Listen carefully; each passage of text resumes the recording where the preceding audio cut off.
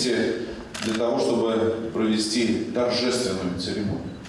Отметить тех ребят, которые уже совершили поступок в своей жизни, и в честь которых сегодня звучал гимн Российской Федерации. Да, возможно, это еще не подвиг, но это точно первый шаг на пути к чести, славе, на пути жизни, за которой не стыдно будет смотреть в глаза людям.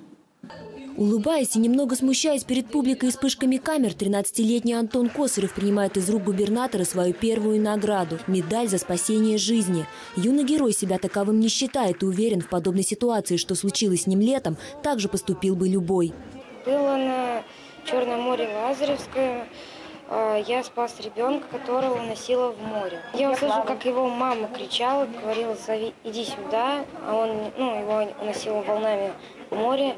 Я это услышал, это прыгнул за ним и начал к нему плыть. Я ему сказал, давай руку, он схватился и отнес его маме. Похожий случай произошел и с этими тремя юношами из поселка Майский Пестравского района. Весной полгода назад они вытащили из воды женщину, мать семерых детей, случайно упавшую в реку и тонувшую под весом своей же намокшей куртки.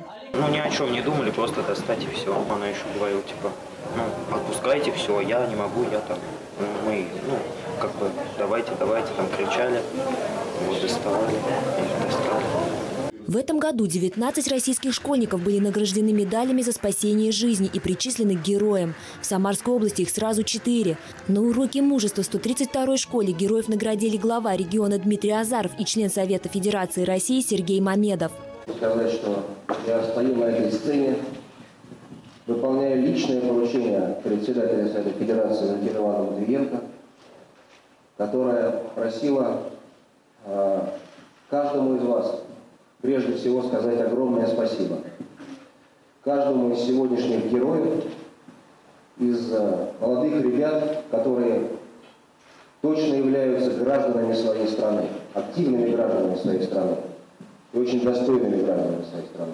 Награждение школьников прошло в рамках Всероссийского гражданско-патриотического проекта «Дети героев». В нем участвовали юноармейцы, представители Росгвардии, общественники.